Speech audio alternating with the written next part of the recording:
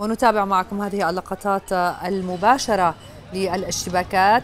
نلاحظ تمركز لقوات الأمن وتواجد مكثف لها حيث هناك اشتباكات تأتي غداة زيارة الرئيس الفرنسي مانويل ماكرون إلى لبنان.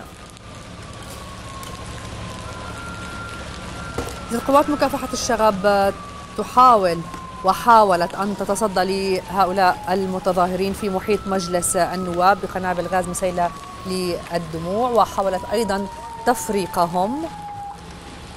تأتي هذه الاحتجاجات عقب الإعلان عن تشكيل حكومة آه، أو اختيار رئيس الحكومة آه، بموافقة عدد من القوى السياسية تضم تيار المستقبل والمردة والوطني الحر.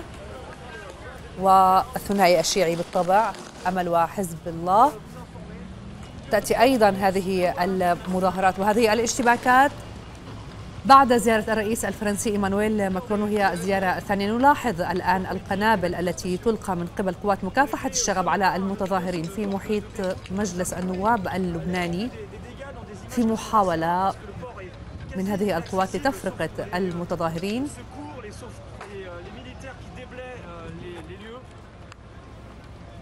إذن الأمور ربما تتصاعد. المؤشرات تدل على أن حالة من التوتر تسود في الشارع اللبناني. مرافقة ومتزامنة مع حالة التوتر السائدة على الطاولة السياسية في لبنان.